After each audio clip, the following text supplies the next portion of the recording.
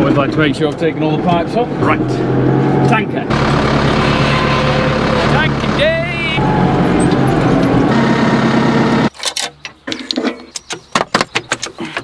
A whole new world, a new fantastic point of view. Tell me, princess, when did you last your heart decide?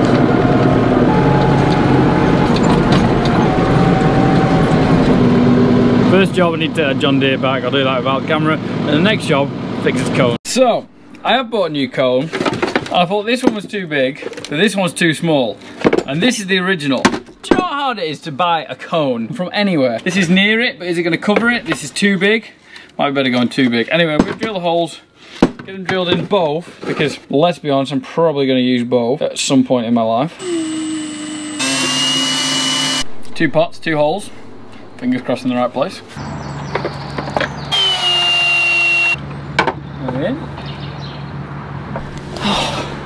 There we go. I know it's a pretty big cone. No one's ever said that cone's too big, apart from today. Right, should get some slurry out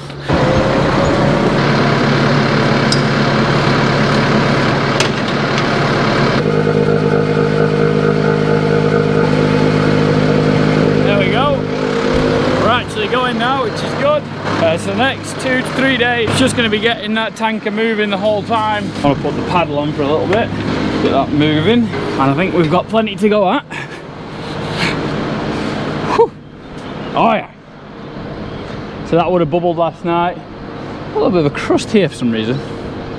Don't know why. It'll start bubbling today about 12 o'clock. So we've got two rings, holds 300,000 gallons. So that is 200,000 gallons, probably just under 200,000, probably 190,000. We're 2,250. Gonna guess about 85 loads we've got to do. So a bit of slurry calculator. We've got 190,000 gallons divided by 2,250.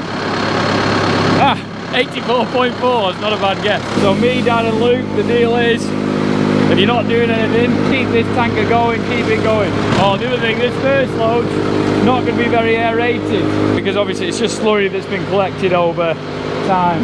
Why it's bubbling up. See that? That's not a good seal there. We don't want to see that.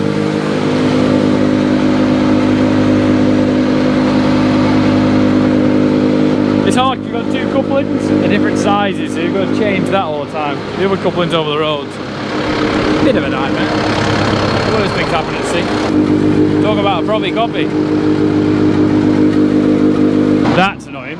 Because it's so frothy, it starts to come out of that, and that is exactly what you do not want. So I'll just make sure that we've got a tight seal next time. I'll just organise that a little bit better. You know, we all have these slight issues going forward. Happens to the best of us. Right. After first got ready for second go get some, let's get some slurry on, grow some grass.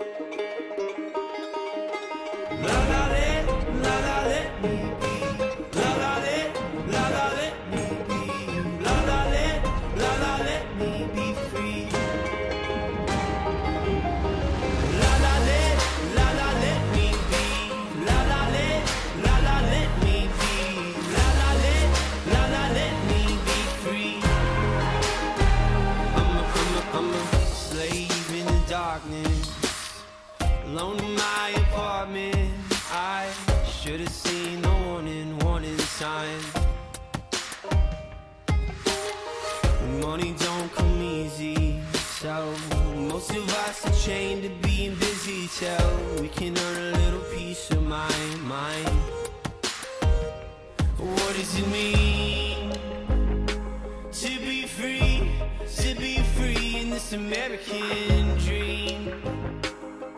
Oh,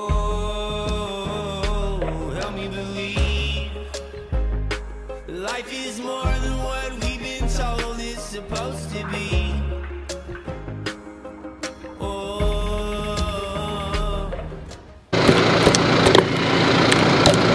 So just taking that off, and there's nothing wrong with that. So we'll put it back on. This is the third load, and it's frothing again. But first load, I just didn't have it on right. So try again. Can't really see the leak.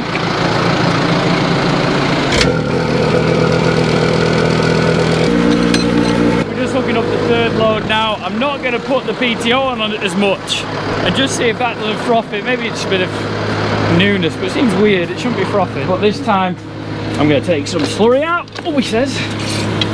Oh, come on. You're going to stay up. Put that up.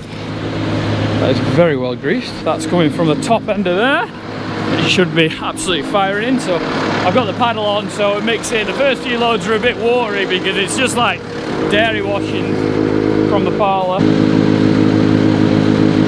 This slurry is some good slurry. Dad thinks it's going to be quite thin. I think it's thicker than he thinks because the consistency is going to be eight. So fill up another load I've got that meeting at 10 o'clock which I'm going to do. Dad's going to take over and then I'll take over here. We filled up the fourth load. It's filled right to the top. There's no space above the glass eye. That's a little bit better. I sucked up a little bit smoother. Hopefully the hole is covered up, or I bet Dad will find it when he goes tanking, but I couldn't just find it straight away. It's better because you want a car 100% or like 99% full. Car at 80% full, what's the point in having a 2,200 gallon tanker? You know, unless you're going on heavy ground where it's a bit wet. I'm happy that we're going full in, which is Right, last load, and I'm going to go for some breakfast and get involved in my meeting, and the ginger guy is going to take over. It is Thursday after the four loads I did on Monday. How many loads have I done since Monday? Yeah, none. I did not. None. The answer is none. So Dad's been tanking every day since. He's done a great job. I've probably done 40. So you've done the 10, the 20, the, not the 15. One up to the golf course, the L shape. You're just on the L shape now, I've you? done over half of that. How much you've got left? Yeah. Oh no, you, 30, 40 you shifted loads. I'll have a look. Important thing for this, what Reese was saying, is that when you get to the last few loads, you turn it on so it gets a good mix, so you don't get that rubbish at the end. I've changed the settings on my mic, so we're gonna try this. Sometimes the audio crackles and it annoys me. At the end of the day, this is great slurrying weather because you're putting it on, it's not baking on the grass, it's wet and damp and it'll it'll get the worms going up to the muck. Yeah, yeah. And where we put a lot of box muck, in particular this after Halloween, how all the crows have moved them up. They've gone looking for worms and underneath, and they've, they've actually moved them up themselves and it will break down and go back. Me and Dad had a debate to use a splash plate of the dribble bar, and I said, oh, should we use a splash plate? But what we've decided to do is gear up on the dribble bar. Yeah, yeah, yeah. So we're geared up, so we're putting less on acre, but we're putting it on with the dribble bar because we think that grass grows better. It's going to be pulling a bit of that. It's better with the dribble bar, don't we? Yeah, well, he's put it to the roots.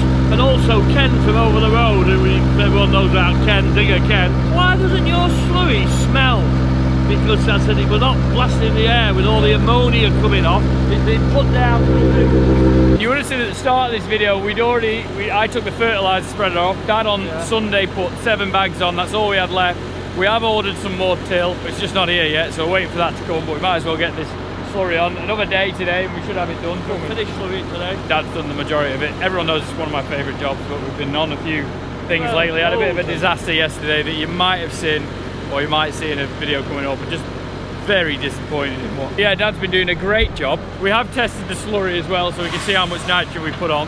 We record every single field and how many loads we've put on each field as well, all through the year. Dad's got a sheet, haven't you, Dad? And you just write that all down. So it's quite interesting just to see how much slurry you put on, what growth. We don't weigh the grass coming off. We'd love to do it, but the chopper doesn't do it. It's like 10 years old, so it doesn't do it. Our chopper. Then there's this uh, went for analysis again, and this is the third analysis we're going to have had since we put the bubbler on. And average them out, and then we'll just see over the year what you know what the sort of slurry we're putting on. We know the rate per acre. We're going to areas of the field that we normally don't get on in the middle of winter because it makes a mess. yeah. So we're doing it a bit the other way around. We're going to the heavier land and stronger land where you can make a mess with a tanker full of slurry. So we're doing that first now to obviously feed that a little bit better. But where it's a bit softer and a bit mealier and we can travel in the middle of winter, it drains better, um, we can always chop that up later on. So you, we're thinking about it. The science of it is great. And uh, we're just Science is great, you just got to get it on, haven't you? That's the get it on. And also it's all there to reduce costs and makes the best of the value of We were just slurry. chatting about this morning. We're gonna put less fert on this year ever. We've got a lot of grass growth. It's raining all the time. The sunshine's not been the best the last three weeks, really. Is it? No. Glad we got that grass off. Oh yeah, but the grass will come. It just needs that little boost of a 40 units of nitrogen again. A little bit of sulphur going with it this time to get the best use of nitrogen. It's got all the P and K from the slurry, have to think. Ground is improving every year. with The muck management, Yeah, yeah. soil Yeah. management is good. the most important. It's going to prove even more very, very soon. You'll see that video. So yeah, Dad's going on, and then after breakfast, hopefully, I'm going to be working on something which is very annoying or side pit that I need to do. Off. a little earlyman just loves this job. Absolutely eats it. Pottering on. Oh, tyres are right, and, you know, and it only sniffs diesel this. Yeah. It doesn't drink it or gulp it like some of those big tractors. There's a little sniff of diesel every other day. The JCB didn't drink that much, uh, all he was saying. All he So, says. 240 litres It's from the two- Wirral back, two, two, days. day- two days, and then the Wirral again, sorry.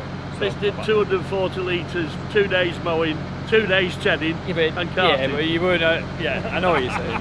right, catch up with you after breakfast. Fingers crossed I get some tanking done.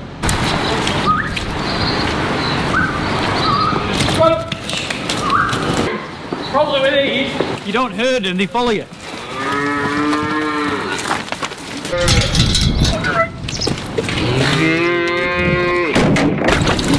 That's full.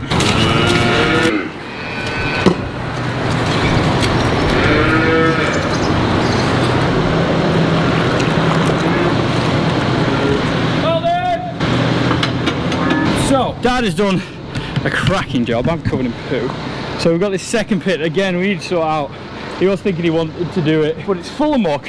And the problem with this pit is that you blow in. The problem with this pit is that you just suck out the thin slurry and the thick never goes. So my plan, you can just see it bubbling now. Oh god. That was close. So my plan is to have it on a bubble, maybe even to suck up a little bit in a minute, and just blow it out and see if I can get a mix going on. Leave it on for 10 minutes, we've got a few jobs to do. So it's like my own portable bubbler. I don't think you got me, just might even suck a load back. And, Well, it's funny, you cut the first load out and come back and bubble again. And knock it off, Five minutes. just push the pipe down a bit more. Yeah, okay, yeah.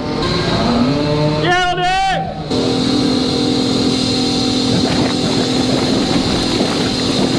So, what we're going to do now is just leave it, I think. Two very Friesian cows. So I've been blowing for a bit.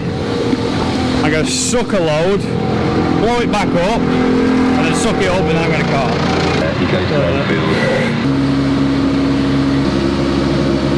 You can see it was properly full. But it just gets really thick this pit. It's a nightmare of a pit to be honest. We need to change it. but There's a few other jobs and we've lived with it for X amount of years. I'm sure we can live with it for a few more. What this might or could do with slurry bugs. I reckon slurry bugs could help this. Break it down and make it more of a paste. But it's here, you can't stir this bit. It just drags the liquid up. Um, coming up, so you better get this party started.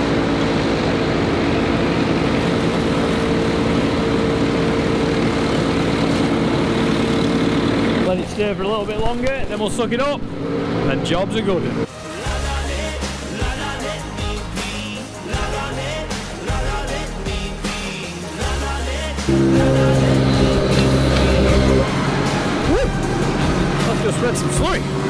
For the next three minutes, for some reason, the audio goes completely rubbish and then goes perfect again, and I don't change the setting at all. I have no idea what it is. So I've bought a brand new GoPro, brand new mic, brand new cables. I'm so sorry. If anyone knows a little bit about audio, they can just help me. That would be amazing. I just have a mic on top. Just email me because I'll get to it a bit better.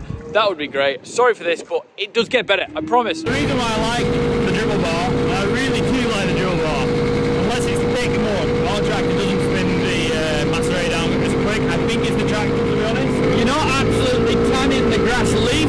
You're getting in the root, like Dad says. It's getting on the ground. So if you got look across there, you can kind of see we spread slurry, obviously. But then look up there.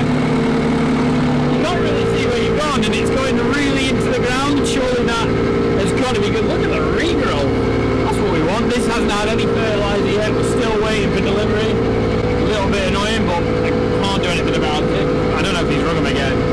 So at least it's got the muck on, we can't do any more than just getting muck on. It's got moisture in the ground, so when the till does come, it should immediately go into it.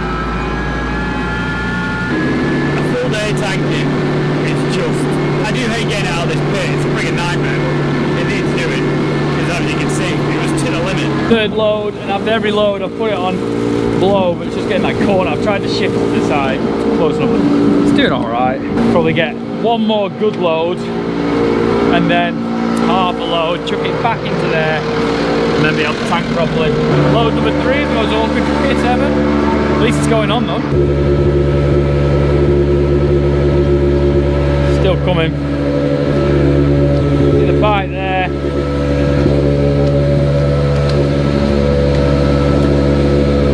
Serious pressure on there. I might have to stop. I don't want to break the pipe. I don't think I'm going to get better than that. Right, turn it off. Done. How much we got in? Fill her back up there. Get the pipe out, this is a nightmare.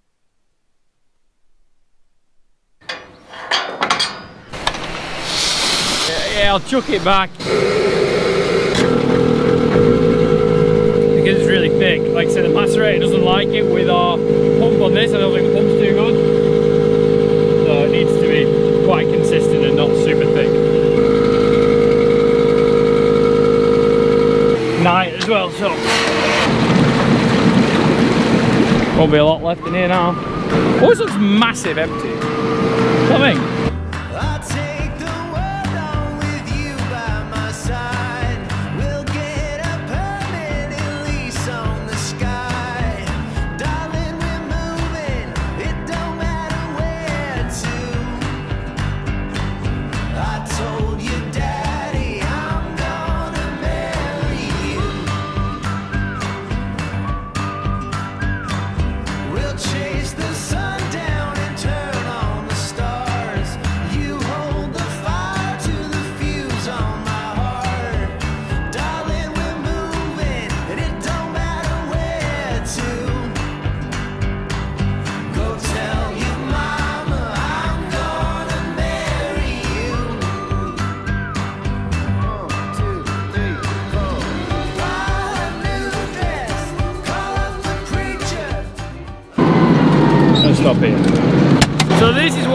about the drill bomb. This is what I really like about it.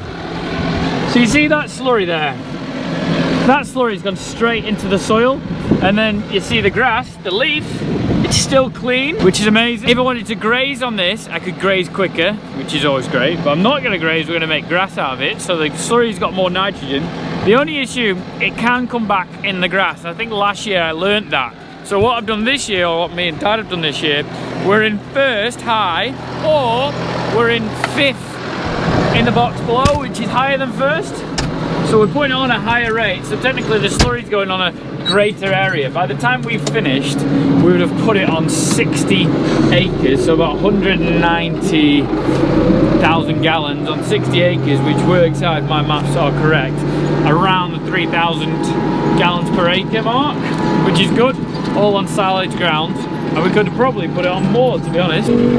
Yeah, I like dribble bar. It works for us, grows more grass, better for the environment. You can't beat it. The slurry in that side thing Yeah. compared to this stuff, Yeah. this is nice black stuff, Yeah. that's watery stuff, not mixed. Yeah. The difference is Oh yeah. second So to you, you'd have got some, some fibrous stuff then, Yeah, you? no, we chucked it back in Yeah, there. Well, I'll empty this. There's two bits. I could either put it on 15 acres here, um, and cows are going to graze that. See, I'll- Straight through it. Yeah, and I'll put that box up across the road. Yeah, yeah, yeah. So- that's so- it. Yeah, I'd put it there. I just put it in second gear, really Oh, yeah. just from there, go Yeah. up, down, Yeah. put it on very thin. Yeah. Yeah, cool. Amazing. Done alright. Well, you've done alright, I've just helped. And this is going to be the slurry. So I get to do something. Like I say, this machine, the aeration, the dribble bar together, in my opinion, is a great combination. So, control box, master, off. Doesn't need to be on, does it? Bits there, but it's just where the pipe's in. The pipes are just stopping it from just coming out, but it's no bother. We're empty, we're done. Ready for second cut, just needs a fert. So I'll talk about that, hopefully it'll come soon. Probably could do with some more slurry really. Put on all the silage ground. How good's that? I need more slurry. Good problem to have. that is it. The last load of slurry spread on across. He's just on the 15 acre now and I can tell that he's really ramped up how quick he's going. Being his second gear, probably 12k, so he's really flying putting the slurry on. Just really thinly because we're going to graze that field. And that's the joys of the dribble bar, grazing it. So that means, oh, feels good. Fed the ground, the ground's got what it needs plus till. Tomorrow, get the rotor spreader on, do a field. Some young stock gonna go on. You can pick through it, put it on very lightly. Guys, that's it. We chopped grass, but more importantly, we fed it back again. Hope you enjoyed today's video. If you did, please give it a thumbs up, subscribe to YouTube channel. See you next one. Bye. Ginger guy's got the road spreader back on. Every time we put this on, we seem to be fixing something in it. I just think this one's a little bit of a Bit of fettling.